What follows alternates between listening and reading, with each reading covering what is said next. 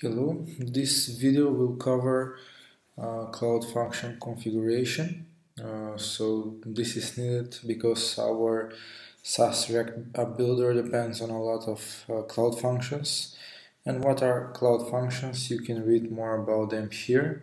They give extra functions and possibilities to Firebase uh, and works over, over the Firebase real-time database, the Fire Store database, and the Fire Storage. So it's a pretty neat functionality from Firebase. Um, yeah, here we can read more what could be done. And we have bundled few functions that are necessary in order the React App Builder to work for you. So uh, first we need to do some configuration inside the Cloud Function folder. Here it is. Okay, and inside it we have a config.js file. Uh, and first we will set up a SendGrid API key. SendGrid is a service, you can read more about them here. It's a service for sending transactional emails and we have included their uh, node, uh, node uh, how do I say, node module in order to send emails from the Firebase directly.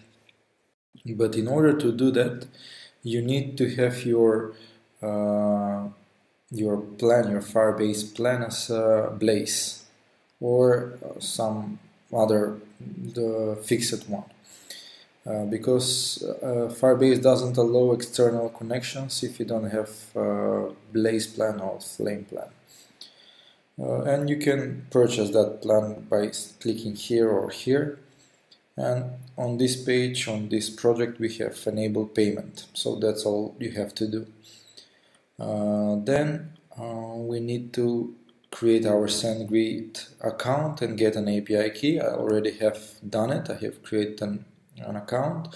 And I will create a new API key for me um, need to enter a name, uh, tester.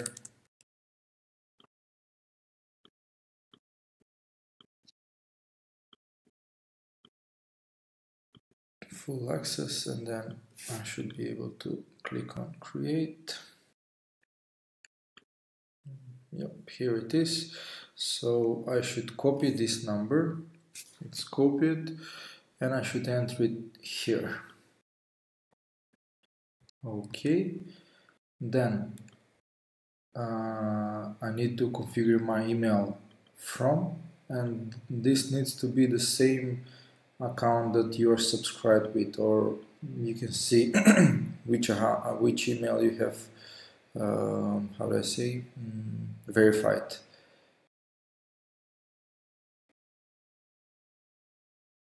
And that should be the email that is that will appear as a sender when your client receives the email. In our case, I think it's this one. So I will use that one. Note if it will not work if this email is not one a verified email inside SendGrid. In this case, this one. Okay so I will enter that one. And when we send an email there is a subject predefined. So uh, your client will receive an email when the app is built. So yeah this is okay subject for us but you can modify it. And the mail text is your mobile apps is produced. You can now continue with the given instructions. And um, yeah you can modify this also and that's all you need to do regarding configurations. Uh, this file has been created before, we have created by uh, in step 1 so there should be any modifications there. And then let's go to our next step and that's creating the email subject. Okay switch to Blaze plan. And in this video we will also cover um, publishing cloud functions so I will go there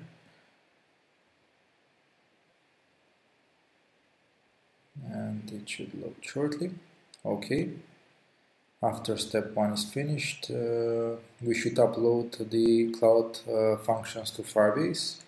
So first I need to have Firebase tools. I think I already have it. You should run this as an administrator. Uh, to check if you have Firebase, you can just do Firebase version. Sorry, the correct version. And yes I have Firebase installed so I need to do a Firebase init.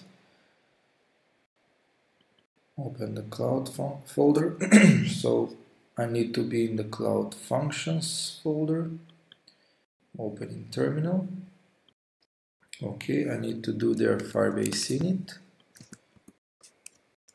okay and I should use functions when I'm here I should press on the spacebar in order functions to be selected.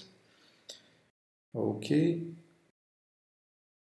Then I should select my project where I want to upload my Firebase functions. It's on tester, so it's a bit below tester. Yeah, here it is. I think it was like that.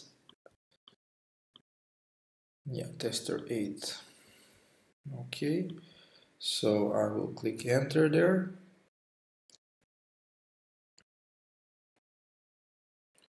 what language would you like to use to write cloud functions I use JavaScript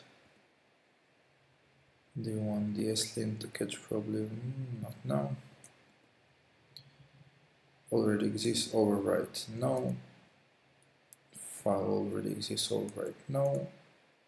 Uh, right now do you want to install dependencies with npm now let's see what the documentation says. Do you want to do you want to install dependencies with npm now? Yes okay let's do that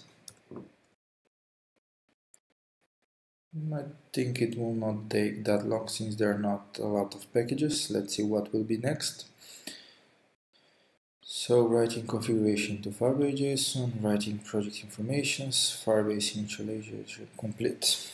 Okay, we should expect that. I will pause the video and continue shortly.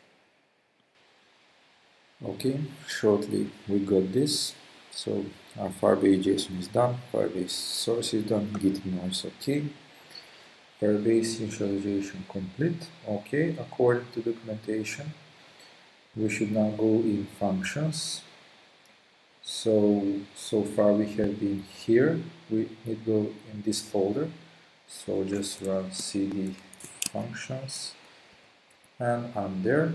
Okay, and then I should run npm install once again. so this will install the packages from this folder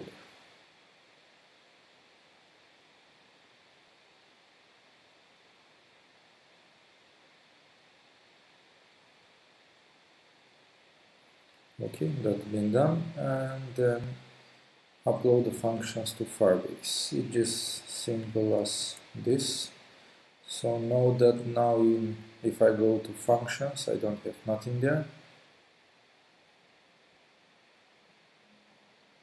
And when I run this this will deploy all my cloud functions to Firebase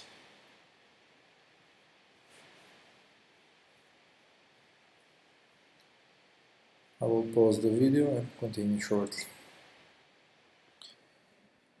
Okay after that I run Firebase deploy and then all the functions are compiled and uploaded so I should see this. Um, that my cloud functions are available now and that it may take up to 30 seconds the functions to be available and ready to use so if I do a refresh here I will should get the list of my cloud functions and yes, here is the list of all the functions. We have regarding the uh, React App Builder that I uh, immediately used are the Paddle integrations, which handles the payments, which handles the uh, payments notifications from Paddle. Then also we have very important is the send notify email. So this function uh, sends an email to your client when their app is created. So that's been on uh, uploading installing and uploading the cloud functions. You can see uh, the log of each functions here, view logs. So this is useful if you want to report a problem or see what what's go, goes wrong. Don't forget to modify the plan to Blaze or Flame. Thanks for watching this video.